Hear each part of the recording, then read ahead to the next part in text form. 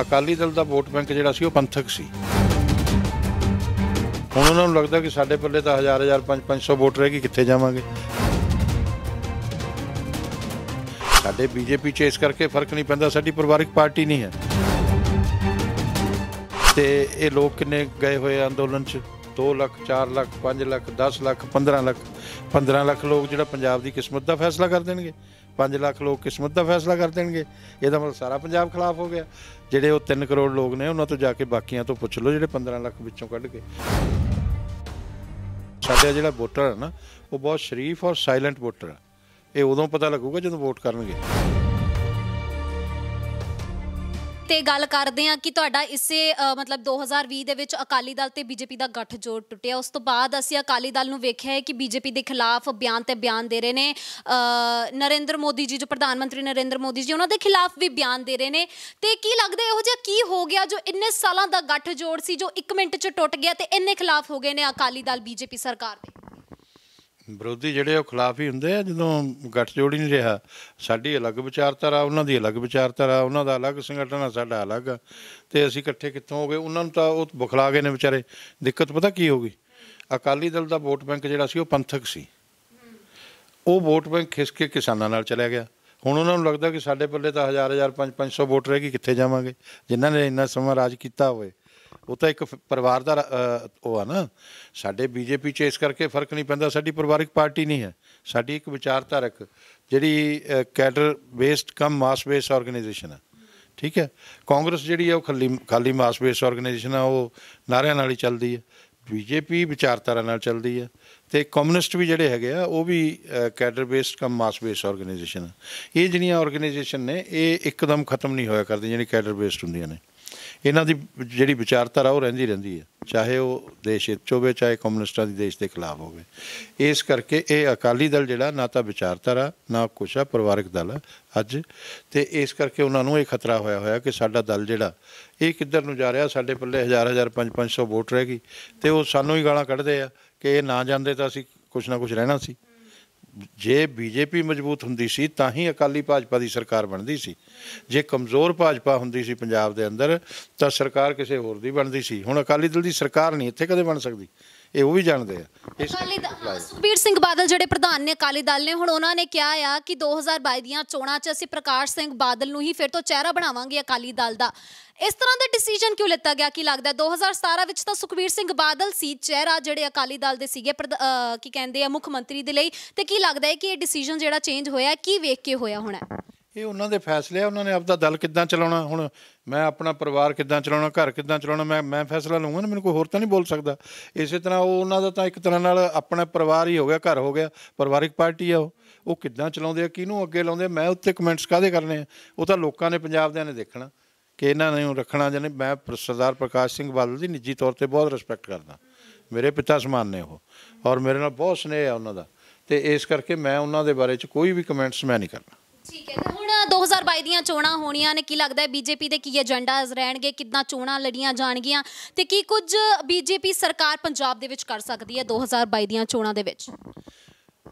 ਬਈ ਇਹ ਤਾਂ ਸਿੱਧਾ ਪਤਾ ਕਿ ਬੀਜੇਪੀ ਦੀ ਸਰਕਾਰ ਬਣਨੀ ਹੈ। ਲੋਕ ਵੀ ਮਹਿਸੂਸ ਕਰਦੇ ਆ। ਤੇ ਸਾਡਾ ਵੋਟ ਬੇਸ ਜਿਹੜਾ ਹੈਗਾ ਉਹ ਸਾਡੇ ਨਾਲ ਆ ਪੱਕਾ। ਠੀਕ ਹੈ? ਤੇ ਉਹਦੇ ਚ ਕ- ਕਰਨਾ ਤਾਂ ਡਿਵੈਲਪਮੈਂਟ ਬੀਜੇਪੀ ਦੇ ਆਉਣ ਨਾਲ ਹੀ ਹੁੰਦੀ ਹੈ। ਬਾਕੀ ਸਟੇਟਾਂ 'ਚ ਵੀ ਦੇਖ ਲਓ ਆ ਮੱਧ ਪ੍ਰਦੇਸ਼ ਦਾ ਰੰਗ ਰੂਪ ਵੀ ਬਦਲਤਾ ਬੀਜੇਪੀ ਨੇ। ਤੇ ਇਹ ਤਾਂ ਬਾਰ-ਬਾਰ ਸਾਡੀਆਂ ਸਰਕਾਰਾਂ ਬਣਦੀਆਂ ਚਾਰ-ਚਾਰ ਵਾਰ। ਤੇ ਇਸ ਕਰਕੇ ਲੋਕ ਵੀ ਹੁਣ ਬਾਕੀਆਂ ਕੋਲੋਂ ਨਿਰਾਸ਼ ਨੇ ਤੇ ਬੀਜੇਪੀ ਨੂੰ ਹੀ ਦੇਖਣਾ ਚਾਹੁੰਦੇ ਆ। ਤੇ ਇਸ ਕਰਕੇ ਸਾਡੀ ਸਰਕਾਰ ਬਣਨੀ ਹੈ ਕੋਈ ਐਸੀ ਪੰਜਾਬ ਦੇ ਵਿੱਚ ਕਿਤੇ ਨਾ ਕਿਤੇ ਬੀਜੇਪੀ ਦੇ ਖਿਲਾਫ ਹੀ ਹਜੇ ਰੋਸ ਹੈ। ਲੱਗਦਾ ਨਹੀਂ ਹੈ ਕਿ ਕਿਸਾਨੀ ਅੰਦੋਲਨ ਕਾਰਨ ਕਿਤੇ ਨਾ ਕਿਤੇ ਰੋਸ ਪ੍ਰਦਰਸ਼ਨ ਹੋ ਸਕਦਾ ਹੈ ਚੋਣਾਂ ਦੇ ਵਿੱਚ ਵੀ। ਕਿਤੇ ਨਾ ਕਿਤੇ ਥੋੜਾ ਨੁਕਸਾਨ ਹੋ ਸਕਦਾ ਹੈ। ਤੁਸੀਂ ਪੱਤਰਕਾਰ ਹੋ ਥੋੜਾ ਨਾ ਸੋਚ ਠੀਕ ਰੱਖਿਆ ਕਰੋ। ਪੰਜਾਬ ਦੀ ਆਬਾਦੀ ਕਿੰਨੀ ਹੈ? 3 ਕਰੋੜ। ਠੀਕ ਹੈ? ਤੇ ਇਹ ਲੋਕ ਕਿੰਨੇ ਗਏ ਹੋਏ ਆ ਅੰਦੋਲਨ 'ਚ? 2 ਲੱਖ 4 ਲੱਖ 5 ਲੱਖ 10 ਲੱਖ 15 ਲੱਖ। 15 ਲੱਖ ਲੋਕ ਜਿਹੜਾ ਪੰਜਾਬ ਦੀ ਕਿਸਮਤ ਦਾ ਫੈਸਲਾ ਕਰ ਦੇਣਗੇ। 5 ਲੱਖ ਲੋਕ ਕਿਸਮਤ ਦਾ ਫੈਸਲਾ ਕਰ ਦੇਣਗੇ। ਇਹਦਾ ਮਤਲਬ ਸਾਰਾ ਪੰਜਾਬ ਖਿਲਾਫ ਹੋ ਗਿਆ। ਜਿਹੜੇ ਉਹ 3 ਕਰੋੜ ਲੋਕ ਨੇ, ਉਹਨਾਂ ਤੋਂ ਜਾ ਕੇ ਬਾਕੀਆਂ ਤੋਂ ਪੁੱਛ ਲਓ ਜਿਹੜੇ 15 ਲੱਖ ਵਿੱਚੋਂ ਕੱਢ ਕੇ ਕਿ ਕਿੱਧਰ ਹੋ ਤੁਸੀਂ? ਤੇ ਫਿਰ ਪਤਾ ਲੱਗੂਗਾ। ਸਾਡਾ ਜਿਹੜਾ ਵੋਟਰ ਹੈ ਨਾ, ਉਹ ਬਹੁਤ ਸ਼ਰੀਫ ਔਰ ਸਾਇਲੈਂਟ ਵੋਟਰ ਹੈ ਇਹ ਉਦੋਂ ਪਤਾ ਲੱਗੂਗਾ ਜਦੋਂ ਵੋਟ ਕਰਨਗੇ। ਇਸ ਕਰਕੇ ਇਹ ਸਾਨੂੰ ਕੋਈ ਖਤਰਾ ਨਹੀਂ, ਕੋਈ ਥ੍ਰੈਟ ਨਹੀਂ। ਇਹੋ ਜਿਹੇ ਅੰਦੋਲਨ ਵੀ ਚੱਲਦੇ ਰਹਿੰਦੇ ਅਸੀਂ ਕਿਸਾਨ ਦੇ ਹਿੱਤ 'ਚ ਹਾਂ। ਇਹਨਾਂ ਕਿਸਾਨਾਂ 'ਚੋਂ ਵੀ ਅੱਧ ਤੋਂ ਵੱਧ ਸਾਡੇ ਨਾਲ ਲੱਗਣਗੇ, ਮੈਂ ਤੁਹਾਨੂੰ ਅੱਜ ਕਹਿਣਾ। ਜਦੋਂ ਉਹਨਾਂ ਨੂੰ ਪਤਾ ਲੱਗ ਗਿਆ ਨਾ ਵੀ ਉਹਨਾਂ ਨੂੰ ਗੁੰਮਰਾਹ ਕਰਕੇ ਉੱਥੇ ਸੜਕਾਂ ਤੇ ਬਿਠਾ ਲਿਆ ਸੀ ਸਰਦੀ 'ਚ, ਉਹ ਇਹਨਾਂ ਦੇ ਪਿੱਛੇ ਡੰਡੇ ਲੱਗੇ ਲੱਭਦੇ ਫਿਰਨਗੇ, ਜਿਹੜੇ ਉਹੀ ਲੋਕ ਅੱਜ ਉਹਨਾਂ ਦੇ ਟੈਂਟ ਪੱਟ ਰਹੇ ਆ ਉੱਥੇ। ਕਿਉਂ ਪੱਟ ਰਹੇ ਆ? ਉਸੇ ਹਰਿਆਣੇ ਦੇ ਲੋਕ ਨੇ, ਉਸੇ ਹਰਿਆਣੇ ਦੀਆਂ ਖਾਪ ਪੰਚਾਇਤਾਂ ਨੇ, ਜਿਹੜੀਆਂ ਅੱਜ ਤੋਂ 10 ਦਿਨ ਪਹਿਲਾਂ ਖਿਲਾਫ ਸੀ। ਇਸੇ ਤਰ੍ਹਾਂ ਹੀ ਇਹ ਲੋਕ ਵੀ ਜਿਹੜੇ ਕਿਸਾਨ ਉੱਥੇ ਬੈਠੇ ਆ ਜੈਨੂਨ ਕਿਸਾਨ ਨੇ ਜਿਹੜੇ ਉਹ ਸਾਡੇ ਹੱਕ 'ਚ ਹੋਣਗੇ। ਮੈਂ ਤੁਹਾਨੂੰ ਅੱਜ ਕਹਿ ਰਿਹਾ ਦਾਅਵੇ ਨਾਲ ਕਹਿ ਰਿਹਾ। ਠੀਕ ਹੈ 2022 ਦੀਆਂ ਚੋਣਾਂ ਵੀ ਆਣਗੀਆਂ ਅਸੀਂ ਜ਼ਰੂਰ ਦੇਖਾਂਗੇ ਕਿ ਬੀਜੇਪੀ ਸਰਕਾਰ ਦਾ ਕਿਹੋ ਜਿਹਾ ਰੁਤਬਾ ਰਹਿੰਦਾ ਹੈ 2022 ਦੀਆਂ ਚੋਣਾਂ ਦੇ ਵਿੱਚ। ਤੇ ਇਸ ਦੇ ਨਾਲ ਹੀ ਹੁਣ ਮੈਂ ਆਖਰੀ ਸਵਾਲ ਤੁਹਾਨੂੰ ਪੁੱਛਣਾ ਚਾਹਾਂਗੀ ਕੀ ਲੱਗਦਾ ਹੈ ਹੁਣ ਕਿਸਾਨ ਅੰਦੋਲਨ ਕਿੰਨੀ ਦੂਰ ਤੱਕ ਜਾ ਸਕਦਾ ਹੈ? ਕੀ ਲੱਗਦਾ ਹੈ ਕਿ ਹੁਣ ਅੰਦੋਲਨ ਖਤਮ ਹੋ ਜਾਵੇਗਾ ਤੇ ਰੋਸ ਜਿਹੜਾ ਹੈਗਾ ਕਿਸਾਨਾਂ ਦਾ ਖਤਮ ਹੋ ਸਕਦਾ ਹੈ ਹੁਣ? ਦੇਖੋ ਕਿਸਾਨਾਂ ਦੀਆਂ ਗੱਲਾਂ ਸਾਰੀਆਂ ਮੰਨ ਲਈਆਂ ਗਈਆਂ।